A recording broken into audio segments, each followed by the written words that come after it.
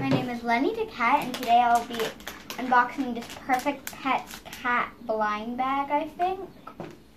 Come on, scissors. Don't betray me here. Yes. There's all keychains. Okay, so I have the American short hair. Looks like this, and I'm overwhelmed with cuteness. The bag is extremely crinkly. I've been doing my ASMR on my mom all day. I was expecting a guide, but I guess just the bag has a guide on it.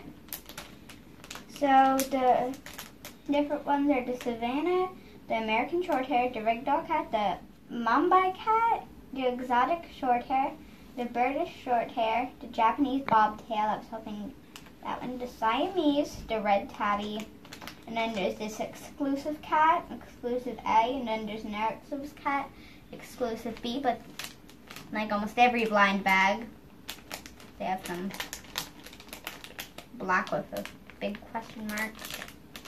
And here's the cover in case you find one.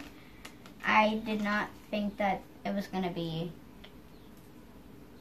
well, a keychain. So I will definitely, since I'm recording on Sunday, definitely going to put this um my backpack for tomorrow.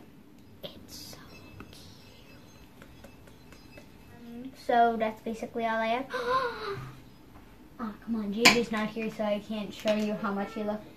JJ, you're at the window. Come on here.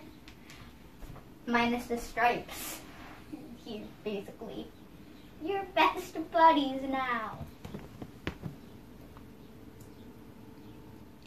Lenny the cat signing off. Yes.